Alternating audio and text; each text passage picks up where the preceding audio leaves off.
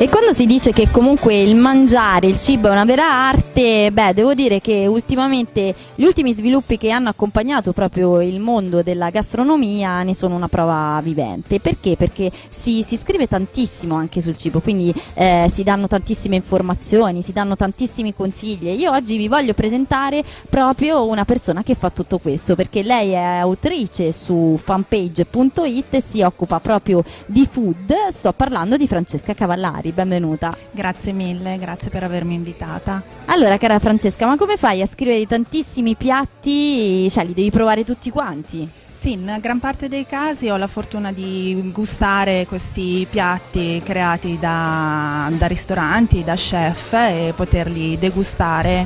Quindi fortunatissima. Fortunatissima, sì. Un lavoro perfetto, un lavoro che magari in tanti vorremmo fare, però ecco, raccontaci un po' la tua storia, quindi come nasce questa tua collaborazione con fanpage.it? La mia collaborazione con loro nasce per caso, diciamo nel 2011 quando proprio la realtà di fanpage ha iniziato a farsi viva su internet, soprattutto sui social, su, ai tempi proprio su Facebook.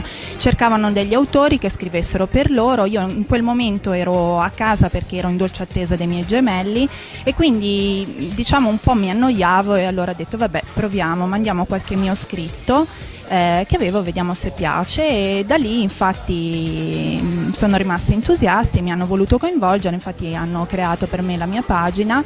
E da lì è iniziata questa esperienza, inizialmente per alte argomentazioni perché ero appena una trentenne, quindi io passavo il periodo dai miei vent'anni ai miei trent'anni ed ero diciamo in quella fase un po' di crisi, tra virgolette, dopodiché nel tempo assaporando mh, la vita familiare, quindi anche con i bambini, ho iniziato anche a cucinare di più a casa e scoprendo che mi piaceva anche cucinare.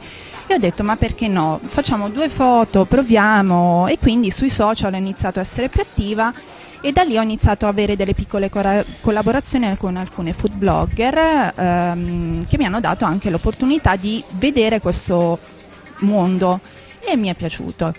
Bene, quindi diciamo eh, hai iniziato a scrivere di food un po' per caso, però ad oggi che cosa ti piace invece, invece di questo mondo tanto da continuare a parlarne?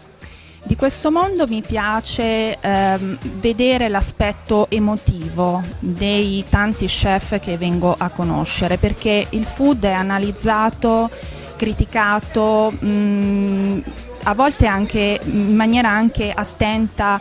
Ehm, criticato in certi casi. Eh, mi piace vedere più l'aspetto emotivo, cercare di capire perché quello chef ha deciso di eh, credere in se stesso aprire un'attività che non è facile e eh, mandare avanti questa attività che è molto, ehm, è molto, piena, cioè uno chef non ha tempo eh, tutto il eh giorno. la vita della ristorazione è, è molto particolare. È molto particolare e, quindi questo è l'aspetto che mi piace sempre cercare di valorizzare. Poi ho la fortuna in alcuni casi anche di visitare proprio le cucine, quindi vedere la brigata come lavora, il retroscena di un piatto, quindi anche la, eh, come nasce l'idea di creare il menù, eh, perché vogliono cambiare il menù anche a, stagionalmente, anche Quindi anche come nascono per esempio tanti accostamenti all'interno di vari piatti che sono anche molto curiosi e molto particolari. Esattamente, in alcuni casi eh, ci sono mh, mm, ristoratori che eh, si spostano, viaggiano e cercano di trovare dei fornitori non solo di zona, perché alcuni ad esempio non accettano il chilometro zero come Igle Scorelli, lui dice io non credo al chilometro zero perché eh, la patata di Avezzano è di Avezzano, io se voglio quella per un mio piatto devo chiederla ad Avezzano anche se sono in Toscana, altri invece assolutamente solo del territorio e quindi vai a scoprire ho conosciuto dei piccoli produttori anche dei giovani che hanno creato anche delle nuove start-up che ho avuto piacere di intervistare e di conoscere. Eh, che ne so ho degustato il finger lime eh, anni fa quando fu il primo a parlarne cracco e scoprire che viene prodotto in Calabria per dire c'è una grande distribuzione in tutta Italia. Oppure ci sono che ne so due giovani ragazzi della Brianza che producono micro ortaggi anche loro mi hanno inviato delle campionature da provare perché il micro ortaggio a differenza dell'ortaggio quindi finito del frutto che noi eh, mangiamo il micro ortaggio ha anche dei principi nutrizionali completamente diversi e anche in alcuni casi migliori per la nostra salute. Assolutamente, che poi ecco, in realtà invece tu che cosa ne pensi per quanto riguarda tutte queste mode o comunque anche filosofia di vita riguardanti il food, quindi chi è vegetariano, chi è vegano? Ah, io rispetto molto queste libertà anche perché francamente sono anch'io stessa curiosa nel degustarle. Ho assaggiato ad esempio un cambio menù in un ristorante in Prati ehm, che è completamente crudista. E quindi quello che ho mangiato non era solamente vegano ma era anche crudista devo essere sincera mi è piaciuto tantissimo quindi ehm, Forse l'errore a volte è quello di criticare chi è vegano, chi è vegetariano, considerandoli come persone che sono limitate a eh, quel tipo di gusto. Nella realtà c'è molta ricercatezza anche nella eh, combinazione di gusti e cercando di renderli molto, molto gustosi. Che poi in realtà, cara Francesca, questa opportunità quindi di collaborare con fapage.it te ne ha aperta un'altra perché io so che tu hai collaborato anche alla creazione, anzi ti sei occupata tu stessa della creazione di etichette per, per vini con un'azienda veneta. Sì.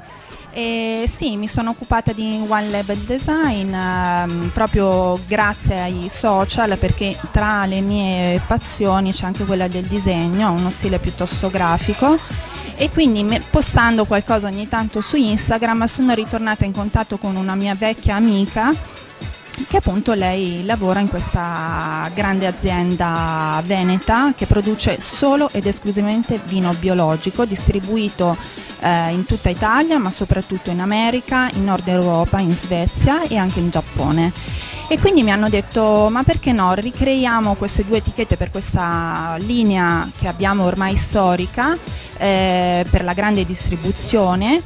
E il soggetto erano i supereroi, quindi ho fatto delle bozze e alla fine sono stati scelti proprio Batman e Wonder Woman.